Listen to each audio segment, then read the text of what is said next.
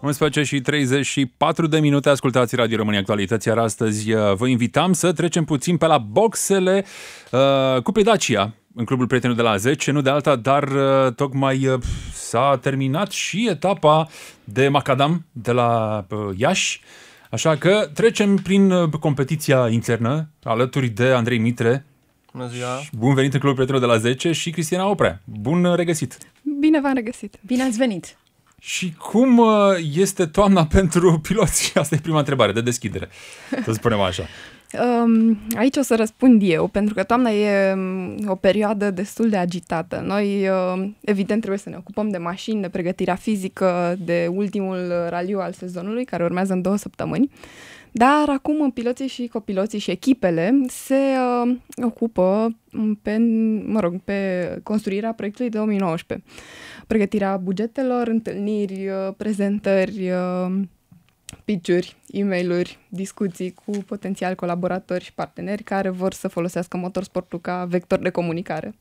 Asta, deși încă nu s-a încheiat cursa, încă nu știi cât din mașină mai poți folosi în sezonul următor. Să sperăm că 100%. Tu ai trecut printr-un astfel de moment? Ai reușit să-l treci cu bine? Uh, da, am reușit să trec cu bine. Mașina este perfect funcțională, top și gata de start la ultima etapă. Iar pentru, pentru Andrei, cum e pe locul 2? Uh, pe locul 2 destul de bine. Sperăm să... Mai avem șanse momentan și la locul 1, totul depinde de ultima etapă, cea de la Sibiu. Uh, lupta este deschisă, trebuie să tragem, nu trebuie să lăsăm ritmul acum pe final. Evoluția noastră a fost destul de bună, la fiecare etapă am văzut că ne apropiem din ce în ce mai mult de lider și sperăm să reușim să ne atingem obiectivul la Sibiu. Cât despre Andrei, eu aș vrea să le spun ascultătorilor noștri un amănunt de culise. Uh, a venit uh, în studio și mi-a arătat o fotografie. Este, erau fotografiate, de fapt, două mașini așezate frumos în parcarea din fața radioului. Prima mașină îi aparține uh, Cristianei. Uh, o să vorbim și despre uh, mașina pe care o conduce ea în traficul din București, dar marea atenție a fost, uh, s-a concentrat asupra mașinii cu care a venit Andrei. Și aș vrea să le spui, dacă nu Cu sunt prea indiscretă, să descrii uh, și dacă te-aș ruga să folosesc fotografia să le arătăm uh, ceva mai târziu și ascultătorilor noștri pe Facebook. Da, cu siguranță pot, fotografia poate fi folosită. Uh, acum află și tata că i-am luat mașina din garaj fără Aoleu, să știe. am făcut o indiscreție? Uh, nu, mereu o iau, află când mă întorc cu ea acasă, află că am mai făcut câțiva kilometri. Este vorba despre un Citroen 2CV din 1980. Și merge merge în condiție... Dar, dar cum de merge? Este o mașină restaurată, este 100% refăcută cu piese originale de la Citroën. Uh, o mașină care a fost întreținută la viața ei și încă trăiește, încă merge nemaipomenit. Și asta n-ar fi singura bijuterie pe care o ai prin garaje? Uh, da, mai avem câteva mașini clasice, mașini, una dintre ele uh, sau de fapt ultima achiziție este o Dacia 1100 pe care am făcut-o cadou tatălui meu, iar acum uh, am primit sarcina să o recondiționez. Sper să-mi și iasă, este prima oară când fac Dacia așa 1100, ceva. wow! Da, este o mașină din 71, uh, una din primele Daci care a apărut. Deci... Și te rog să mai spui Acum... încă o altă marcă de mașină, asta nu, pentru a nu fi acuzați de publicitate. Ce altă mașină mai ai în garaj sau mai aveți în garaj? Pentru că tatăl tău am înțeles că... Da, uh, mai avem și un uh, Renault 16, Skoda S100, mai sunt câteva mașini... Și, uh, și Cristiana cum se simte? Um, mie îmi place să le fotografiez. Și chiar dacă încă nu dețin, încă nu dețin o mașină clasică, mă bucur că în toți acești ani de motorsport am învățat să respect și să apreciez mult mai mult orice fel de mașină. Lasă-mă să ghicesc, Andrei. Sunt convinsă că tatăl tău este pasionat de mașini de epocă și încearcă să le restaureze sau mașini restaurate. Cred că ține foarte mult la aceste bijuterii din moment ce nu te lasă să să le atingi. Sau greșesc? Uh, inițial uh, nu aveam voie să, să le folosesc. Totul s-a schimbat în momentul în care Citroenul a avut o problemă. Am comandat cu el într-o seară piesele necesare. Normal, până au venit a durat o, o perioadă. Iar în ziua în care au venit am omis să-i spun faptul, faptul că au venit, special ca eu să pot în liniște să încerc să le schimb eram sigur că dacă el va afla că au venit, o să facă ceva ca eu să nu am acces la mașină sau eu să nu pot schimba acele piese. Uh, am făcut mașina, iar surpriza pentru el a fost momentul în care ne-am întâlnit, am fost să-l iau de, de undeva și ne-am întâlnit și am rămas șocat că sunt cu mașina aceea, că mașina merge, iar de atunci a acceptat într-un fel sau altul ideea că mai iau mașina din când în când. Cât, cât de greu să faci jos de piese pentru mașini atât de vechi? Uh, sunt anumite mașini la care piesele se găsesc destul de ușor. Nu în România, se găsesc în străinătate. Sunt companii care uh, se ocupă de aceste piese, sunt refăcute ca cele originale, unele au chiar atestat de piesă originală și se comandă din Franța, Germania, Olanda și vin până aici. Andrei, ești foarte tânăr și de acest lucru se pot convinge cei care urmăresc acum imaginile live pe site-ul nostru www.româniaactualități ori pe pagina noastră de Facebook. Eu sunt curioasă cum reacționează oamenii atunci când te văd în trafic cu asemenea mașină uh, și atât de tânăr. Ce reacție ai din partea Foarte lor? multă... Oamenii sunt împărțiți în două categorii. Cei care la primul contact mă felicită, iar cei care la primul contact mă întreabă ce motor are mașina, apoi mă felicită că merg cu asemenea mașină. Eu sunt curios acum pe câți ai reușit să și plimbi?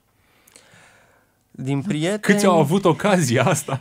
Nu, hai să rectificăm întrebarea. Câte fete ai uh, agățat Uh, cu această mașină? Nu pot să spun că o folosesc pentru așa ceva. Era doar o glumă, da. Este o mașină mai mult... Merg din plăcere pentru mine. Într-adevăr, atrage, este o mașină care atrage foarte multe priviri, nici eu nu m-am așteptat. uh, Și un prieten bun mi-a spus că pot să agăț uh, orice fată de la 15 la 80 de ani fără probleme cu mașina aceasta.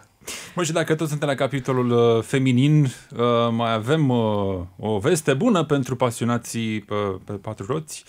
Uh, de la primul echipaj feminin românesc din ultimii 50 de ani, de câte am înțeles, care au participat la un raliu în afara țării, etapă european.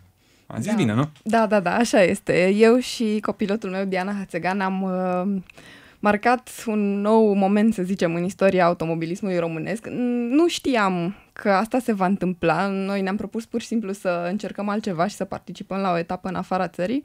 Apoi, căutând prin arhive, am descoperit că nu a mai fost niciun uh, pilot femeie și niciun uh, echipaj feminin românesc care a făcut uh, chestia asta în epoca recentă. Au fost totuși mai multe copilate care au, uh, au participat la etape europene, însă în formatul acesta uh, prima a fost Simina Mezincescu, acum jumătate de secol. Și uh, ce să zic, a fost un moment emoționant, chiar uh, am simțit presiunea când am luat startul în Bulgaria la Rally Sliven, pentru că știam că nu, nu e neapărat loc de greșeală, nu am mers acolo cu, cu gândul să batem raliul, dar uh, am mers cu a noastră Dacia Sandero de curse, ceea ce a fost și asta o premieră pentru motorsportul românesc, pentru că a fost prima ieșire în, din țara modelului Sandero. Uh, și a fost o experiență inedită, pe care vrem să o repetăm și anul viitor. Fără doar și poate, uh, acest domeniu este mai mult uh, un domeniu masculin. Cât de greu vă este vouă, ca fete, să pătrundeți uh, în, într-un uh, asemenea domeniu care, după părerea mea, e destul de dur. Și când spun duritate, mi-aduc aminte, Cristiana, cred că în urmă cu câteva luni, acea imagine pe care tu ai postat-o pe Facebook cu mașina răsturnată în timpul unei curse. Da. Nu cred că e greu să, să intri în domeniu. De altfel, multă lume mă întreabă dacă e prea târziu, de la ce vârstă am început. Cred că poți să începi motorsportul la orice vârstă. Eu am început la 23 de ani. Cred că e greu să reziști. Uh, poate nouă ne e un pic mai greu, pentru că uneori, chiar și atunci când avem o constanță și un progres constant, um, oamenii vor mai mult și se așteaptă să fim în top din prima, cât mai repede, cât mai sus.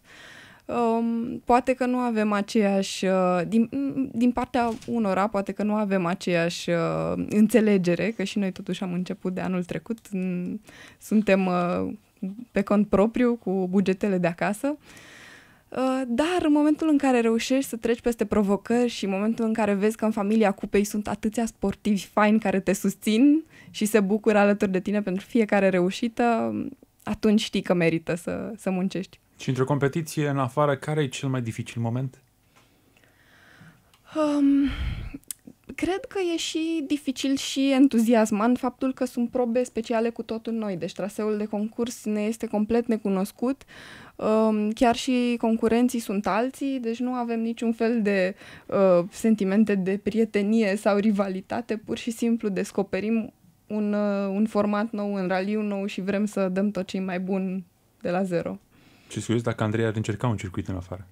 Uh, cu siguranță urmează sau îmi doresc, am în plan să, să fac o etapă și în afară.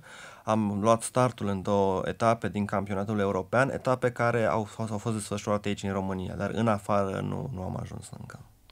Cristiana Oprea și Andrei Mitre, piloții de raliu, astăzi în Clubul Prietenilor de la 10. Vă reamintim, îi puteți vedea pe internet pentru că transmitem live ceea ce se întâmplă aici în studioul Radio România Actualități. Și aș vrea să-l întreb pe Andrei, că tot vorbeam ceva mai devreme despre cât de dur sau cât de ușor este pentru o fată să pătrundă în acest domeniu uh, auto.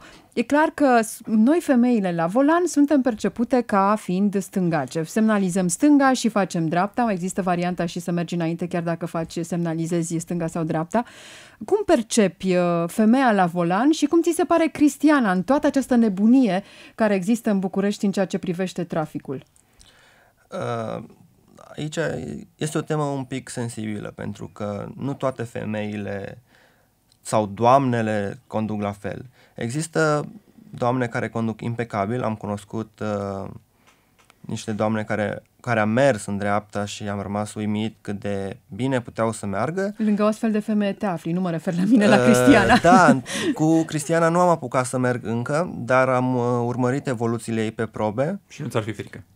Cu siguranță nu, aș putea să merg cu ea foarte liniștit. Evoluțiile, într-adevăr, se văd de la etapă la etapă, ritmul ei crește, se apropie de cei din top cât, din ce în ce mai mult și la anul poate o să fie un adversar pe cinste acolo. Dar copilot, doamne. Mulțumesc! și eu am copilot momentan. Nu, mă uitam, Andrei se uita la mine, uh, Cristiana îl privea înduioșător și zâmbea în timp ce el povestea aceste lucruri uh, foarte frumoase uh, despre, despre ea. Andrei, tu cum ești în trafic? Uh, ești cu minte? Pot spune că sunt destul de cu minte. În momentul în care nu mă grăbesc sau doar merg într-un loc pentru că trebuie să ajung acolo, dar nu am uh, un timp limită de ajuns, sunt foarte calm. Noi, ca piloți, ne descărcăm, putem spune, adrenalina pe probele speciale. După ce facem o probă îngustă, cât o mașină și jumătate, uh, la niște viteze foarte mari, nu mai avem nevoia să avem acele senzații și în trafic. Noi percepem uh, pericolul dintr-o mașină altfel, având și anumite accidente în istoric, uh, știm cum, ce se poate întâmpla în trafic într-o mașină care nu este pregătită pentru un impact ca cele de curse. Ți-a fost vreodată teamă atunci când ai fost la un pas de a avea un accident foarte grav? Uh, nu am avut până acum momente în care să ajung la limita unui accident foarte grav. Slavă Domnului! Slavă Domnului, într-adevăr. Am avut, în schimb, uh, câteva ieșiri în decor, am răsturnat toată, am lovit La un aceste copac. momente mă întrebam. Deci, uh, de a fi, poate la un moment dat ți-a fost teamă, asta era întrebarea. Frica a fost după. În momentul în care se întâmplă acel eveniment, nu avem timp să percepem ce se întâmplă sau suntem mult, mai, mult, mult prea concentrați în dorința de a salva situația, de a scoate mașina din uh, posibilul impact Uh, în momentul în care mașina se oprește, realizăm ce se întâmplă, vedem că totul e bine, dar problema poate să apară în momentul, la următoarea cursă când ne urcăm înapoi în mașină. Atunci există riscul de a avea o teamă. În cursă există avantajul că știi traseul. Și mai există avantajul că te poți baza pe omul de lângă tine, care știe la fel traseul și îl are în față și uh, îți servește uh, cam toate informațiile de care ai avea nevoie, evitând acel imprevizibil. Dar în afara traseului, care e cel mai lung drum pe care ai mers? Și ți-a făcut plăcere, evident. Cel mai drum, lung. lung drum pe care l-am făcut, dar nu în cursă? Nu. Uh, acum am mai crescut un pic, pot să spun și asta. Cel mai lung drum pe care l-am făcut vreodată a fost într-o zi, am plecat până la Cluj să-mi iau niște prieteni și m-am întors. Mama află acum, cu siguranță mă ascultă, îmi cer scuze, mamă. Am avut o dimineață, am plecat la Cluj și m-am întors seara, deci undeva la 1000 de kilometri cu un drum foarte plăcut cu niște Oare oameni. ce spune mama ta la această oră? Uh, sper să fie în ședință, poate nu mă aude acum, nu știu. Sper să... A fost de mult, poate trece Da, peste mai ușor. poate trece, știind că acum sunt acasă, sunt bine, nu s-a întâmplat nimic. Și pe locul 2 și foarte aproape de primul loc, mm, ai un atu, să spunem așa. Exact. Dar pentru Cristiana, în ultimul uh, an sau în ultima perioadă ai mai apucat să mai faci drumuri, trase și în afara uh, competițiilor. Da, da, da. Chiar uh, vara aceasta am mai uh, dus la bun sfârșit o nouă excursie. Am, uh, de obicei, îmi petrec vacanțele vara în Grecia. Mi se pare extrem de relaxant. Uh, dar de data asta am ales un traseu via Serbia, uh, Muntenegru, Albania. Uh, apoi am mers prin Lefkada, am coborât în Peloponez, am urcat înapoi în Atena, apoi către Sofia și înapoi în București. Au fost în total vreo 4200 de kilometri împărțiți uh, au fost cam 800-600 de kilometri pe zi și a fost o experiență incredibilă. Uh, Timp am scris suficient mai să- multe să-și- și pe, pe blog despre asta. Și detalii găsim uh, pe Da, da, pagina ta traseu, personală. preț de, prețul benzinei, pentru că e foarte important să te documentezi dinainte, să știi la ce să te aștepți. Uh, în fine, e, a fost o experiență pe cinste. Și pentru a te putea bucura de această experiență, cred că un cel mai important detaliu, și nu doar uh, atunci când ieși în afara circuitului, ci și când mergi pe distanțe mai scurte, este să fii treaz la volan, nu? Da, da, da. Asta este o, mă rog, e, e o, o idee pe care am susținut-o vara asta. E o campanie care ne, ne pune să, să ne întrebăm ce înseamnă pentru noi să fim treji la volan. Să nu folosim telefonul, să fim uh, concentrați la drum, să fim atenți la trafic, să anticipăm. Este o campanie de educație rutieră și pentru șoferi, dar și pentru pietoni și bicicliști. Tot așa puteți să aflați mai multe pe blog sau pe Treaz la volan. Uh, Eu am pregătit acum o întrebare pe care vă adresez, uh, îi adresez și lui Andrei și, și Cristianei. Uh, Ce calități ar trebui să aibă o persoană ca să devină pilot de raliu? Recunosc că această întrebare uh, ne-a fost sugerată de unul dintre ascultătorii noștri care a urmărit uh, pe parcursul anului evoluția voastră la Cupa Dacia. Cristiana? Cred că ar trebui să fie foarte curioși, în primul rând. Multă lume mă întreabă. Curiozitatea. Da, multă lume mă întreabă ce pot să fac să, să devin pilot. Sau, din potrivă, îmi spun, aș fi și eu pilot, dar n-am bani. Nu începi cu bani și nu începi cu un curs de pilotaj. Începi, în primul și în primul rând, fiind prezent la o etapă de raliu. Intri în vorbă cu oamenii, ești spectator, afli ce înseamnă o probă specială, etapă, trasă, ecart. Sunt tot felul de elemente pe care le poți afla gratis, doar fiind spectator. Um, poate chiar ai ocazia să urci în dreapta unui pilot la shakedown, să vezi um, cum reacționează și cum controlează mașina, să vezi interiorul unei mașini de curse. Așa poți să afli cum se poate pregăti o mașină, care sunt bugetele necesare. Um, evident, poți să descoperi care sunt școlile de pilotaj, deci sunt foarte, foarte multe informații pe care trebuie să, să fii pregătit să le asimilezi. Și Andrei când s-a urcat prima oară la volan? Uh, prima oară când am urcat la volan, într-o, a fost o mașină de, de stradă, în- aveam 10 ani, eram cu tata pe un câmp, mereu mi-am dorit și a zis să mă învețe. După aceea, la 15 ani, am luat startul uh, în prima mea etapă, uh, într-un subcampionat, nu în campionatul național, urmând ca la 16 ani să intru în Cupa Dacia, Uh, eram și cel mai tânăr junior atunci, asta se întâmpla în anul 2005, iar de atunci am uh, evoluat uh, în cadrul cupei. Am decis să rămân totuși în cupă, nu am trecut mai departe, pentru că este, din punctul meu de vedere, cel mai bun mod de a mă lansa în motorsport. Sunt uh, costuri reduse, dar performanța este destul de mare în, uh, cu aceste mașini. Sunt uh, modelele Sandero și Logan, ambele sunt acceptate, într-adevăr, cu anumite modificări. Uh, Nu orice mașină se poate încadra. Avem niște limite impuse, uh, dar mi-am demonstrat că și cu Sandero, chiar dacă avem un motor mic de 0.9, am putut să fac performanță și să fiu uh, în, vârf, uh, în vârful clasamentului clasei 9. Clasa 9 reprezintă clasa în care sunt mașini cu motoare până în 1.6, uh, iar uh, chiar la Iași am avut cel mai bun rezultat. Pe, la finalul primei uh, zile de concurs mă aflam pe locul 3 la această clasă. Și pentru că a vine un- subliniat Andrei, scuze, um, toată lumea poate să ia startul cu Padacia și să afle mai multe informații pe site-ul nostru, cu padacia.ro și pe Facebook și acolo află și informații despre cum piloții încă de la 16 ani pot lua startul în campionatul național de raliuri. Și dacă vreți să vedeți, 4-6 octombrie, Sibiu. Și dacă toți uh, am au- auzit uh, sau am adus vorba încă de la început de mașina cu care a venit Andrei la radio, o puteți vedea pe uh, pagina noastră de Facebook, arată foarte bine. Felicitări, Andrei, pentru Mulțumesc mașină și mult de tot. felicitări pentru, pentru ceea ce ai reușit să faci uh, până acum. Gânduri bune și pentru Cristiana, vă ținem pumnii și vă dorim foarte mult succes! Tocmai m-am întors de la